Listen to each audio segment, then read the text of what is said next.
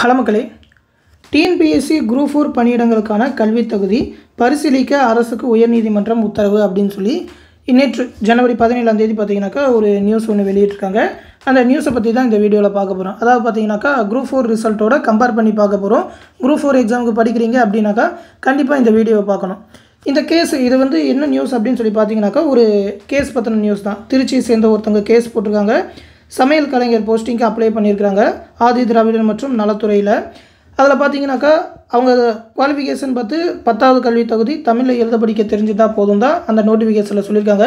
இவங்க வந்து higher qualification அப்படின்னு சொல்லி இவங்களை ரிஜெக்ட் பண்ணிட்டாங்க போல இருக்கு. அதாவது டென்த் வரைக்கும் படிச்சிருந்தா போதும்னு நினச்சிருக்காங்க. அதுக்கு மேலே படிச்சிருந்ததுனால இவங்களை ரிஜெக்ட் பண்ணிட்டாங்க.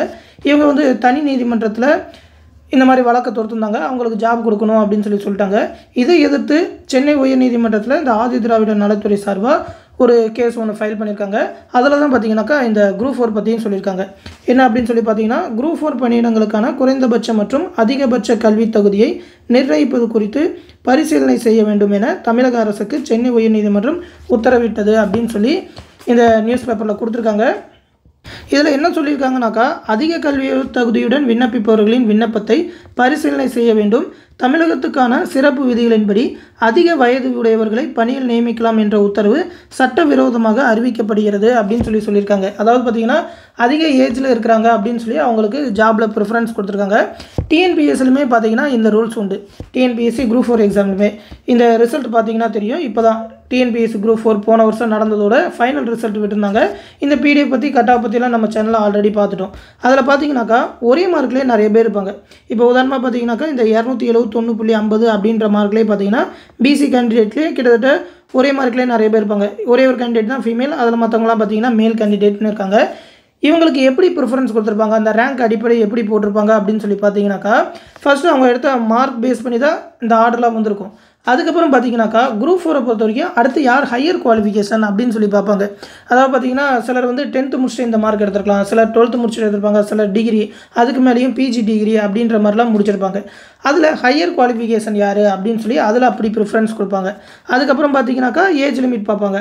ஏஜை பொறுத்த வரைக்கும் பார்த்தீங்கன்னா யார் முன்னாடி பிறந்தாங்களோ அவங்களுக்கு ப்ரிஃபரன்ஸ் கொடுப்பாங்க. இதில் நிறைய பேர் பார்த்தீங்கன்னாக்கா பேச்சுலர் டிகிரி முடித்தவங்களாக தான் இருப்பாங்க. மேக்ஸிமம் பேச்சுலர் டிகிரி முடித்தவங்க தான் அப்ளை பண்ணியிருப்பாங்க இதிலே பார்த்தீங்கன்னா தெரியும். ஒரே மார்க்லேயே ஆயிரத்தி தொள்ளாயிரத்தி தொண்ணூத்தஞ்சில் மூணாம் மாதம் பிறந்தவங்க மேலே இருக்காங்க. அடுத்து தொண்ணூத்தஞ்சிலே அஞ்சாம் மாதம் தொண்ணூத்தஞ்சிலே ஆறாம் மாதம் தொண்ணூற்றி ஆறில் மூணாம் மாதம் தொண்ணூற்றி ஆறில் பதினோராம் மாதம் அப்படின்னு சொல்லி முன்னாடி யார் பொறுத்திருந்தாங்களோ அவங்கள பொறுத்து கொடுத்துருக்காங்க. இது வந்து கொஞ்சம் சரியாக படலை. வேறு ஏதாவது இன்னும் கூட எக்ஸ்ட்ரா ரூல்ஸ் வைக்கலாம். அதாவது பார்த்தீங்கன்னா பார்ட் பார்ட்டாக பிரித்து இப்போ யூபிஎஸ்சிலாம் பார்த்தீங்கன்னாக்கா அந்த ஆப்ஷனல் பேப்பர் இல்லாமல் ஜென்ரல் ஸ்டடீஸ் பேப்பரை வைப்பாங்க. அந்த மாதிரி ஏதாவது இப்போ ரெண்டு பார்ட்டாக உண்டு. Tamil Tamil eligibility test general ஸ்டடீஸ்னு ரெண்டு பார்ட் உண்டு. அதில் யார் அதிக மார்க் எடுத்திருக்கா அப்படின்னு சொல்லி அந்த பார்ட் பார்ட்டாக பார்த்துட்டு பார்க்கலாம். ஹையர் குவாலிஃபிகேஷன் அதுக்கப்புறம் பார்த்தீங்கன்னா அதை பார்க்கலாம். அதை விட்டுட்டு ஏஜில் பார்க்குறாங்க ஏஜில் கூட ஒரே ஏஜில் பிறந்தவங்க கூட இந்த லிஸ்ட்டில் இருக்காங்க. நான் பார்த்துருக்கேன்.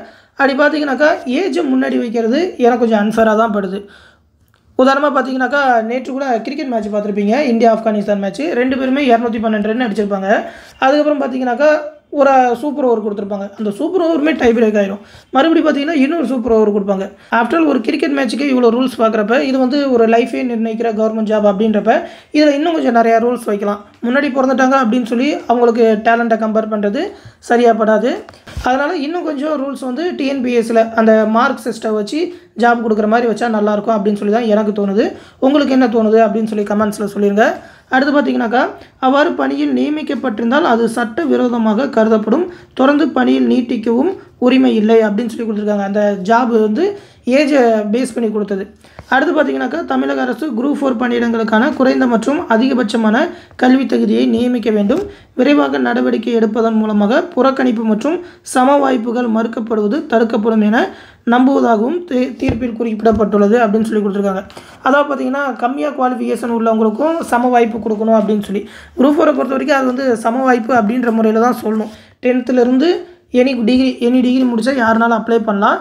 ஏஜ் லிமிட்டில் தான் பார்த்தீங்கன்னாக்கா கொஞ்சம் பாரபட்சம் இருக்கிற மாதிரி இருக்குது டென்த்து மட்டும் முடித்தவங்களுக்கு மேக்ஸிமம் ஏஜ் லிமிட் அப்படின்னு சொல்லி கொடுக்கல. அவங்களுக்கு வந்து ஏஜ் லிமிட் வச்சுருக்காங்க. முப்பத்தி ரெண்டு முப்பத்தி ஏழு அப்படின்னு சொல்லி. ஆனால் நீங்கள் டென்த்துக்கு மேலே படிச்சிருந்தீங்கன்னாக்கா உங்களுக்கு ஏஜ் லிமிட் இல்லைன்னு சொல்லி கொடுத்துருக்காங்க. அது கொஞ்சம் ஆன்சராக தான் படுது.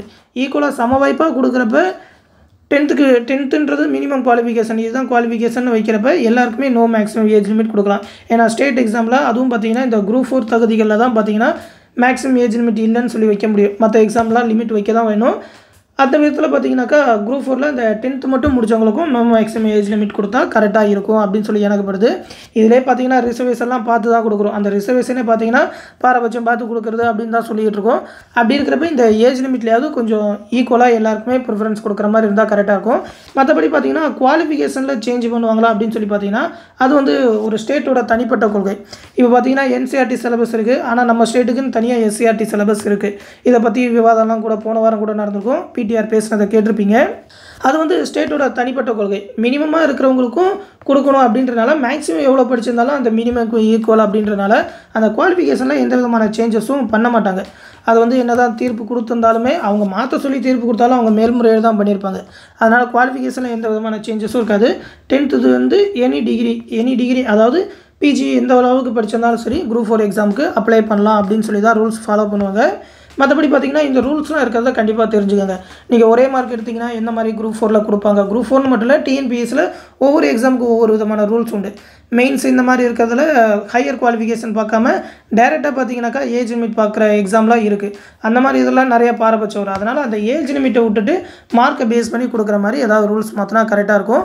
உங்களுக்கு என்ன தோணுது அப்படின்றத கமெண்ட்ஸில் கண்டிப்பாக சொல்லுங்கள் கண்டிப்பாக தெரிஞ்சுக்கணும். மேற்கொண்டு டிஎன்பிஎஸ்சி பற்றி ஏதாவது அப்டேட் வந்ததுன்னா கண்டிப்பாக நம்ம சேனலில் தெரிவிப்போம். அந்த அப்டேட் எல்லாத்தையுமே உடனே தெரிஞ்சுக்க. மறக்காமல் நம்ம சேனலையும் சப்ஸ்கிரைப் பண்ணி வச்சுக்கோங்க.